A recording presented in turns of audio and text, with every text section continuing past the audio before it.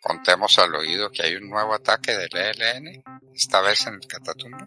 Sí, señor Fernando. A esta hora nos registran de un hecho que ocurrió esta madrugada a las 3, a las 3 de la mañana eh, contra la unidad de Catapulta 1. Al parecer, eh, terroristas del ELN, de la unidad o la facción Camilo Torres, en la zona del Catatumbo, esto es el Carmen Villanueva, atacaron a los uniformados. Eh, los medios de comunicación ahora reportan eh, seis personas muertas, seis soldados muertos, ocho heridos.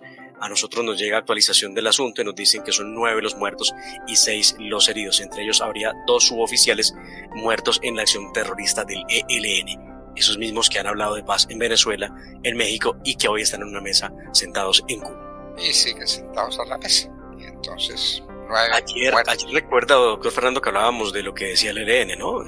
que ellos tenían también derecho a hacer y adelantar operaciones militares para defenderse. Operaciones militares. Atacar cobardemente a los destacamentos militares con un ministro de defensa que no sabe dónde está parado. No sabe dónde está parado. El entrenamiento del ministro de defensa lo hizo en materias eh, puramente sociales y de, y de proselitismo político en Guatemala y ahora es el ministro de Defensa de Colombia. Válganos Dios. Bueno, damos esta noticia con profundo dolor. Nuestro sentimiento de solidaridad y de pena para las familias de los soldados y de los oficiales muertos en el Catatumbo. Hagamos votos por la recuperación de los heridos. ¿Cuántos heridos hay? ¿Seis? En algunos eh, medios están hablando de seis, nosotros tenemos el dato de ocho eh, hombres heridos. Bueno. Ay, Dios mío en compasión de todos nosotros. Al escuchar los informes no sabe qué pensar, si estamos equivocados nosotros, si la gente está equivocada. Pero lo que veo uno en las regiones es algo totalmente distinto.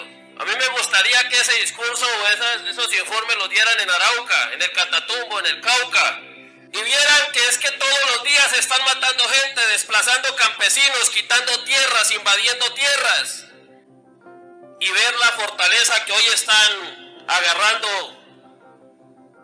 los bandidos en casi la mayoría del territorio colombiano. Hoy sin apoyo. Y los bandidos cogiendo fuerza día por día. Y vemos que se escandalizan y quieren acabar prácticamente con para, de muchachos para las fuerzas militares. Pero no decimos nada cuando están reclutando muchachos ilegalmente para los grupos criminales. ¿Dónde están? Yo no los he escuchado.